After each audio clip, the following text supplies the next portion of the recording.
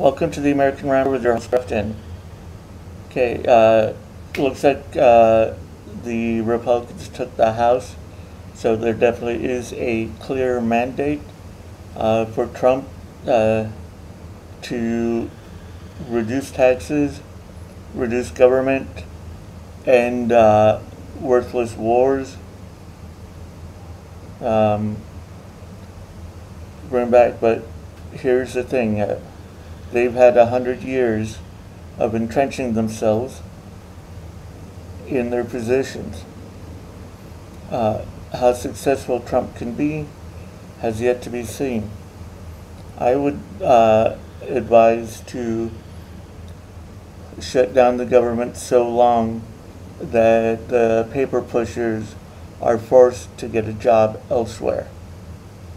But let's see um, what Decision Desk has to say. Uh, okay. The Republicans uh, got 52-46. Uh, majority uh, election. Okay. So, um, so that's not going to be a problem. Okay. Uh, they would hold at least 218 House seats. Uh, they still have eight races yet to be called. So how strong that's going to be, we don't know. Uh, okay. Now, term, uh, uh, Biden signed a one trillion infrastructure uh, law, something that we can't afford. Uh, by contrast, in the past two years of divided government, uh, good, he had low success at spending our money on worthless projects, but yet they have plenty of money to send to Ukraine and Israel. You know, are both, uh, they're funding both sides of the war. Oh, what we're giving to Gaza is hum humanitarian aid. Yeah, so Gaza no longer has to pocket money for that humanitarian aid. They can now use that money to spend on weapons. Okay. Okay. Yeah, getting rid of Kevin uh, McCarthy was good. Um, still would like to see Jim Jordan in there.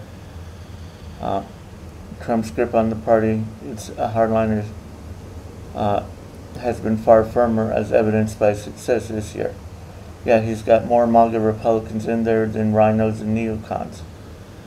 Uh, we know those rhinos and neocons really like their money, especially their war money, because it's not their sons uh, going to war. I'm surprised Biden, after his son Beau, didn't switch sides, but um, party lo loyalty and brainwashing is a thing in uh, D.C.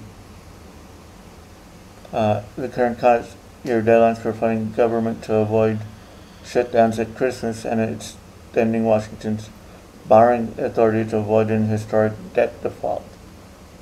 The only thing I would like to see them do is keep the debt default because once the debt default, uh, once they default on debt, it's over for the U.S.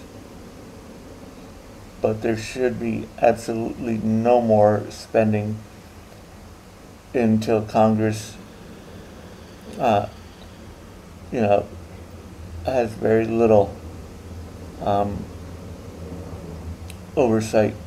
You know, congressman, maybe each congressman has three or four employees. That's it. Uh, the only thing the U.S. should be responsible for is the uh, Global Ambassadorship Program and for self-defense.